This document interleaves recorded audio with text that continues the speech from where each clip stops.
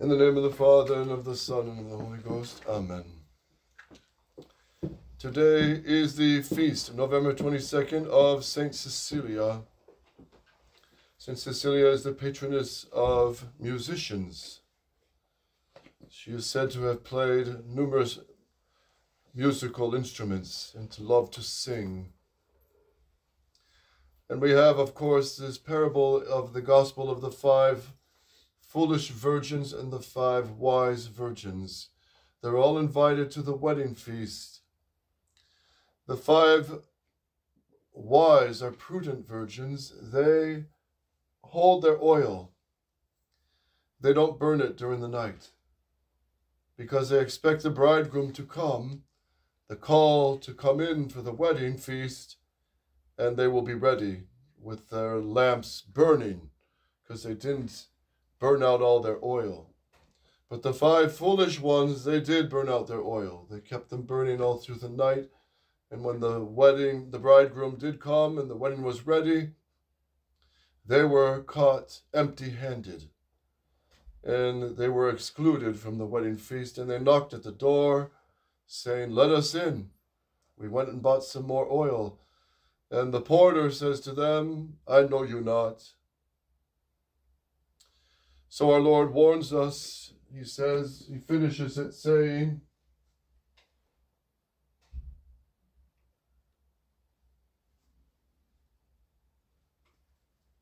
Watch therefore, for you know not the day or the hour. Be watchful.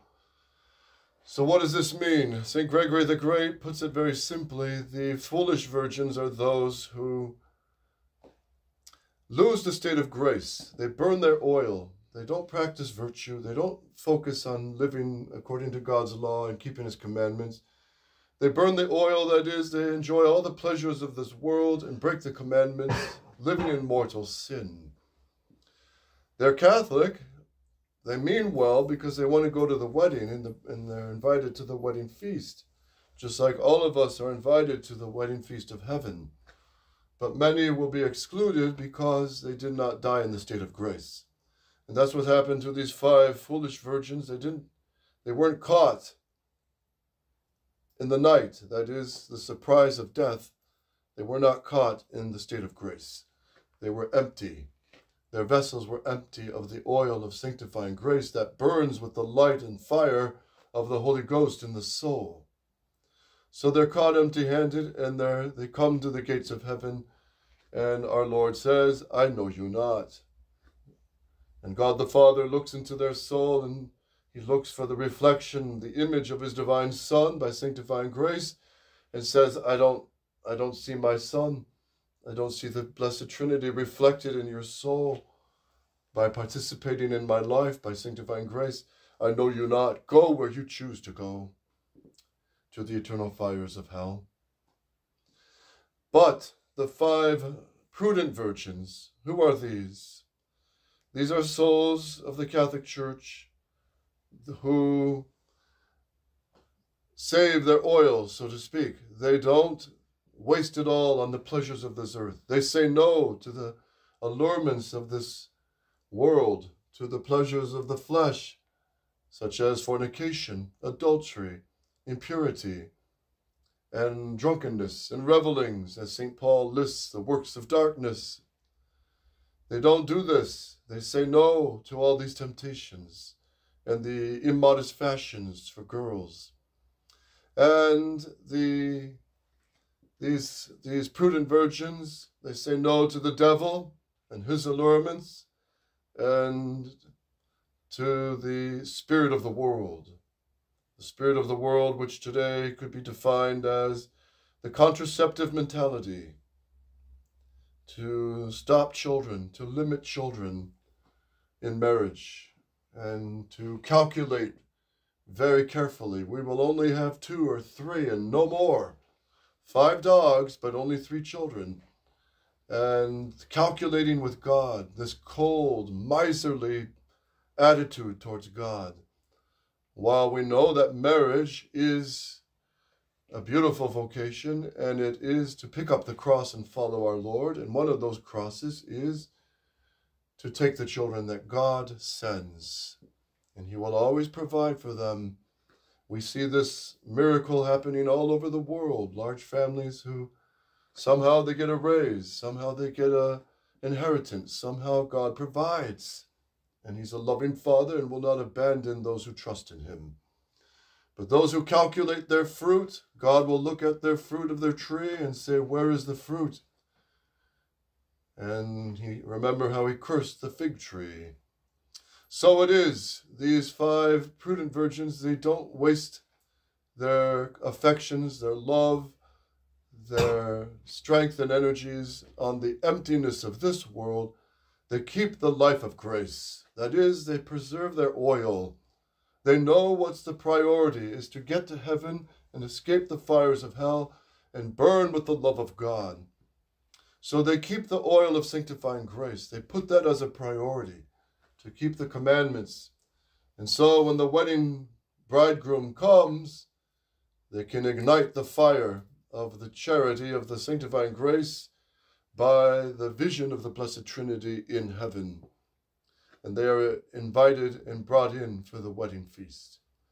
Such it is in the Catholic Church, which outside of which there's no salvation.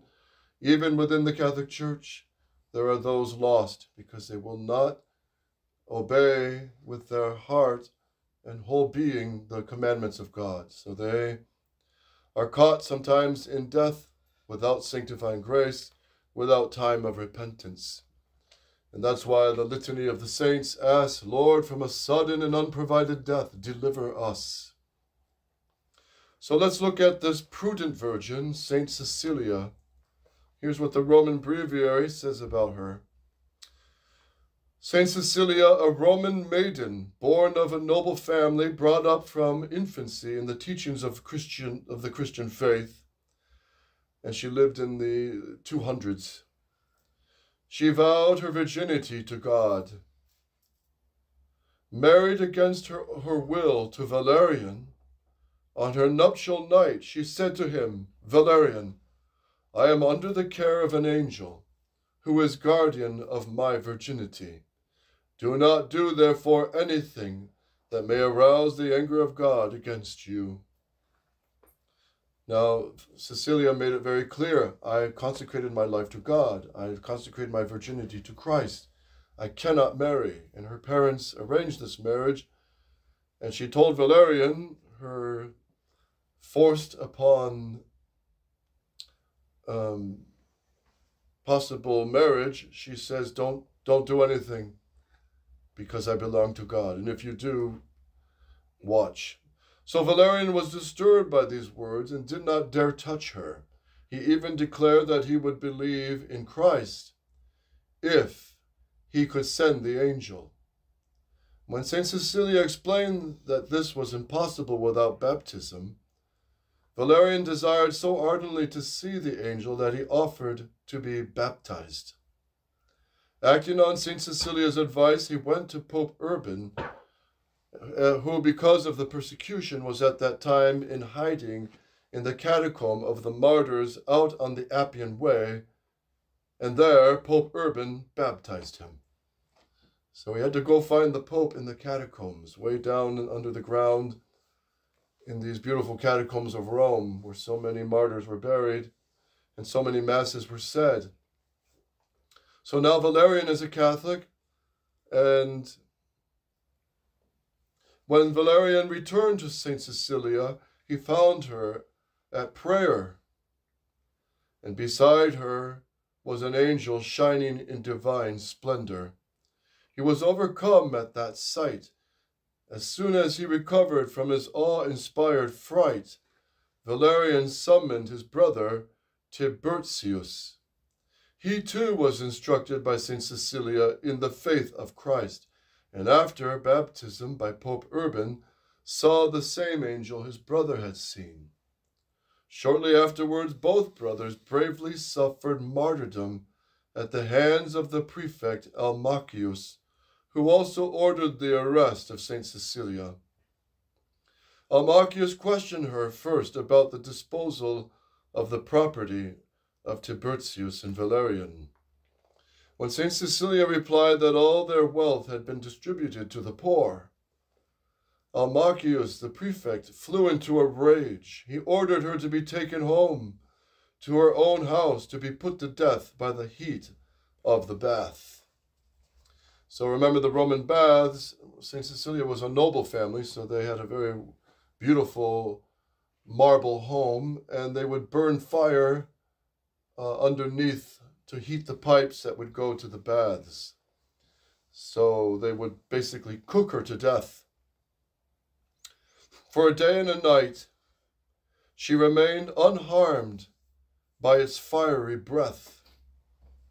Then an executioner was sent for her, although he struck three blows with an axe. He was unable to sever her head, so he left her half dead. She lingered three days alive. Then on September 16th, in the reign of the Emperor Alexander, crowned with the dual palm of virginity and martyrdom, St. Cecilia took her flight to heaven. The same pontiff, Pope Urban, buried her body in the cemetery of St. Calixtus. A church was set up in her house and de dedicated under the name of Saint Cecilia. Her body and those of Popes Urban and Lucius, and of Tiburtius and Valerian, and Maximus, were brought back into the city by Pope Paschal I and were buried together in the Church of Saint Cecilia. So there, Saint Cecilia was buried for many hundreds of years.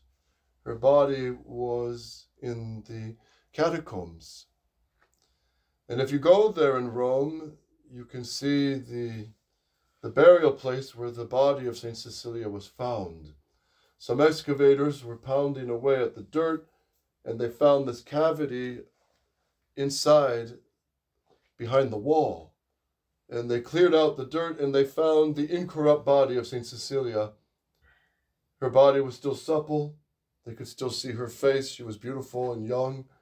And the blood, even on her neck from the axe, um, the axe uh, cuts, was still fresh blood. And her fingers were so arranged that she had one finger and two out. So she was professing, even in her death, Christ is one person, but two natures. He's the person of God, but two natures. And for this, St. Cecilia was killed, to profess Christ as God. Archbishop Lefebvre said, This is why we say no to Vatican II. He said, This is why we oppose the Council errors. This is why we should not be worried if they level suspensions, excommunications, to try to crush out tradition. He said, It's all because we profess the divinity of Christ and they attack it. And one of the first effects of his being God is his kingship, the, the divine kingship of Jesus Christ, which Vatican II has deliberately uncrowned him. So this defines the battle of traditional Catholics today against modern liberalism, against Vatican II, the new Mass, and the whole onslaught against the Catholic faith. So let's pray to St. Cecilia to sing with joyful hearts to sing in our hearts to God, says St. Paul. Sing good hymns, the psalms, the hymns of the church. Memorize some by heart. And in the religious life, we they're singing all the time. Prime, Sextus, Compline, and in the monastic orders, they sing the whole divine office. Everything is sung. The bride of Christ sings to her spouse. So let's pray to the Saint Cecilia not to burn out our, our affections and our talents on sins in this world and be caught knocking at the door and hear from inside, I know you not. But let's storm heaven now. Use your talents and gifts. Use the little time that we have on this earth to obtain heaven. And with the threat of a nuclear war, our death could be very soon. Who knows?